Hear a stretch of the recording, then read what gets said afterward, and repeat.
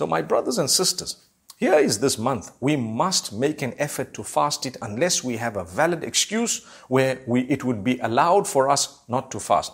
Allah says, ومن كان مريضا او على سفر فعده من ايام اخر Whoever is not well or is on a journey, they may make up the missed fasts on other days. that's what Allah subhanahu wa ta'ala tells us when He speaks of Shahru Ramadan. Now, if you look again at that, it is such a great gift of Allah, so much of mercy. Allah is telling you, you have to fast. You must acknowledge it's a pillar. You must acknowledge it's a whole month. You must acknowledge that it's the ninth month. You must acknowledge it's the month of Ramadan. And you must acknowledge it's from dawn to dusk. And you must fast.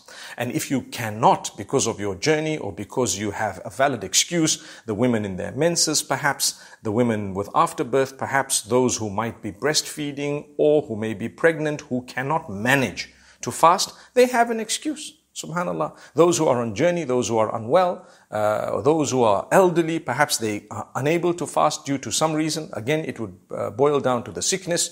So in that case, you either make it up on other days, or if you really cannot even make it up because you can't fast due to a sickness or some form of inability that you have, in that case, you can give out what is known as a fidya. It's a compensation, a token amount for every single fast.